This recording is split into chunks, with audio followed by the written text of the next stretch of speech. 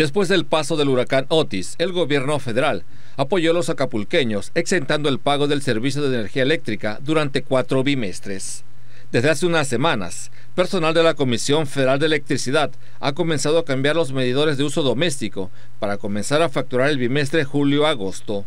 Todo parece indicar que en septiembre se deberá pagar nuevamente el servicio de energía eléctrica, que en muchas partes de la ciudad sigue siendo deficiente por constantes apagones. La señora Margarita López agradeció el apoyo otorgado, ya que el no pagar la luz mitigó el impacto económico derivado de Otis pero espera que el apoyo continúe por un bimestre más. Bueno, no son las palabras adecuadas, ¿no? Pero sí lo veo muy mal. Que se cobre. Que se cobre.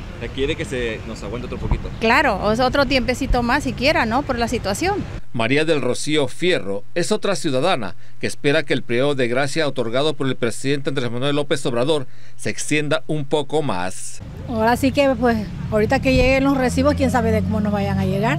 Y si de verdad se vaya a cumplir, pues, de que se vaya a respetar el acuerdo que habían quedado, que no se nos iba, nos iban a elevar las tarifas. Ajá. Pues estaría mejor que nos dejen otros bimestres. Ah, pues sí, de maravilla. Ándele, sí. Mire cómo está Acapulco todavía. No hay trabajo. Jesús Tirado en la lente les ha informado Hugo Sandoval Alcaraz para RTG Noticias.